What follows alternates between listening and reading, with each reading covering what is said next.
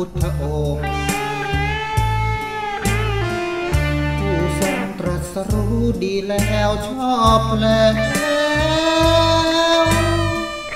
พระธรรมเป็นเหมือนหลักชัย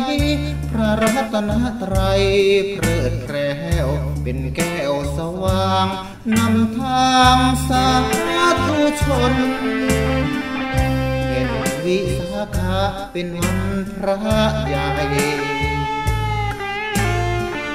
รัสรู้ได้กิเลสหลุดพ้นประสูตรตรัสรู้ปรินิพพานพระอรหันต์โคตมะทศพลให้มหาชนได้พ้นวัฏตาประสูตรตรัสรู้ปรินิพพานสามวัน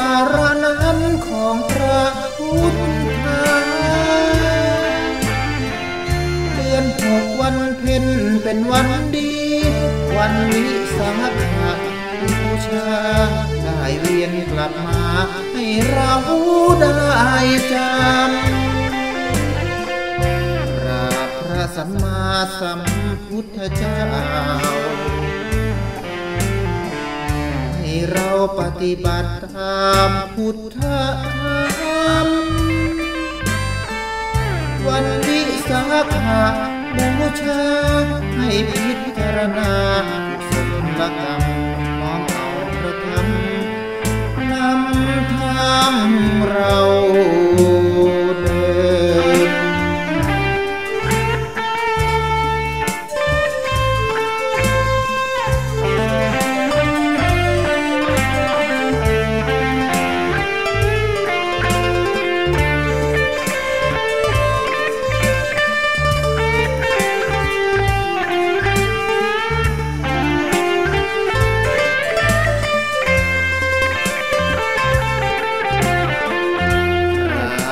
สัมมาสัมพุทธเจ้า